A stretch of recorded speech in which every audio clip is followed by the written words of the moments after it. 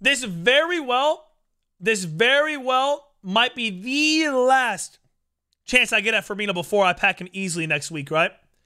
Here we go. It's a premium one green. Oh, yikes.